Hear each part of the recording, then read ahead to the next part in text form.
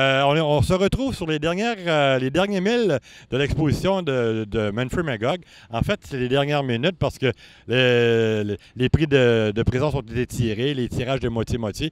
Qu'il il nous restait quelques temps, quelques minutes à accorder à notre ami Charles Daniel, que j'ai vu arriver en toute fin de- d'exposition pour euh, faire la, promotion de- de- l'exposition du Camping Beaulieu, dont on va parler un petit peu plus tard.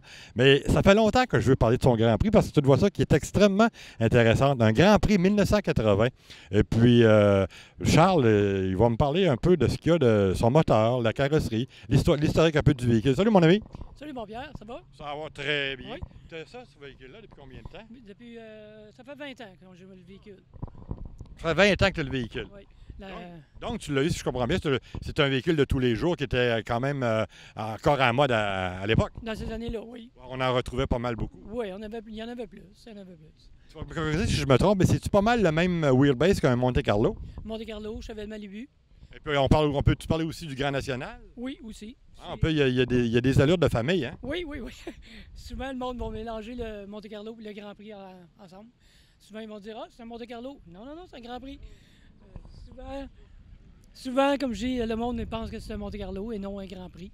Mais euh, pour voir la différence, on a juste à regarder le devant, puis c'est vraiment le devant d'un Pontiac. Oui, c'est vraiment le devant d'un Pontiac. Le, le pointu, c'est Avec la caractéristique de la grande la pointe là, du radiateur. du radiateur puis du shell. Et, euh, Quelle sorte de moteur tu as là-dedans? euh, 301. C'est le moteur d'origine.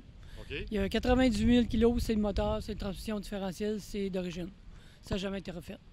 Et puis, euh, pendant qu'on jase tantôt, euh, notre chum euh, Régent Drouin, notre caméraman, producteur et euh, l'instigateur du projet, il va sûrement faire des, des prises de vue de, de- de la voiture vue de l'intérieur. Mais on parlait un peu de côté mécanique. Tu me disais que c'était un?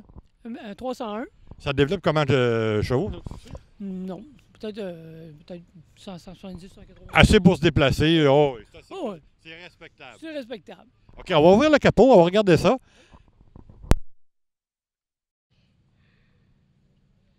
Alors, on a ouvert le capot et puis ça nous a laissé voir un, un petit monstre. Hein? Un petit monstre. Puis il y a beaucoup, ce qu'on voit, tu as, mis beaucoup d'emphase sur le chrome. Oui, j'ai mis beaucoup d'emphase sur le chrome. Euh, quand je l'ai acheté, le moteur était bleu, euh, les couverts de valve étaient bleus.